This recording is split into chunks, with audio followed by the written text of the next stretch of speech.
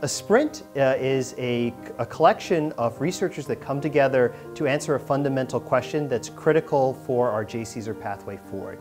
Uh, these researchers that come together are students um, and professors from academia, uh, researchers from government labs, and also researchers from industry. And the idea is to bring all of this diverse set of people together to look at a problem that we see as a potential bottleneck in our, our quest to make transformative batteries.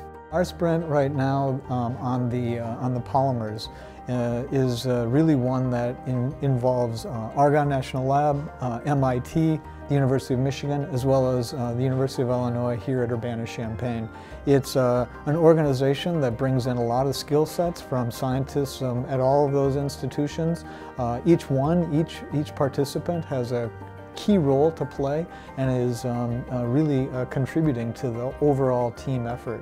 One of the greatest things about sprints is that they distribute the leadership. So junior faculty, for example, Joaquin Rodriguez Lopez is, uh, has played a key role in uh, stepping up and being the leader of a sprint. Having Joaquin in, in the team, uh, in, in the small molecule team, is really uh, beneficial, you know, uh, to the RAC team because once we have any progress, he, knows right away and uh, he can immediately think, how we're going to incorporate it in this into the RAC team. I was the leader of what we call the redox active polymer sprint.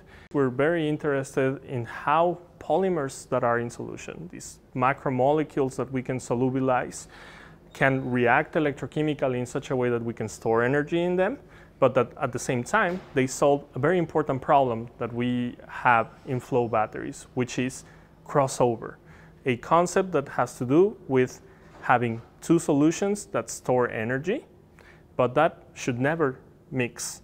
And so by using these large particles, we can actually prevent them from crossing to the other side and react, wasting energy. This is where a lot of the theoretical science came in, in assessing and providing a list of maybe two or 300 compounds that were possible uh, anode materials that we could use.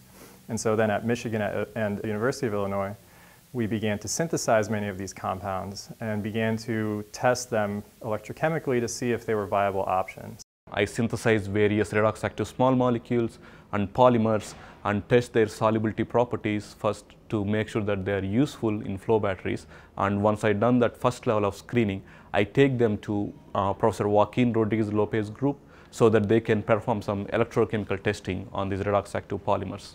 My role within the sprint was uh, the initial characterization of all the materials that we were screening and then moving on to uh, testing some of the prototypes that we were able to implement uh, with our collaborations with the groups at MIT and Harvard. And from there we began to develop trends in seeing what types of functional groups, what types of motifs were important. Once we developed those trends, we could finely tune synthetically materials that were stable for days. So now we have anode materials that are stable, they're low molecular weight, they're very cheap to make in a single step, and they work in a lot of the conditions that people were looking to develop batteries with. Our research has improved in quality and has improved in, um, in development in a timely manner much more than we could have done uh, independently.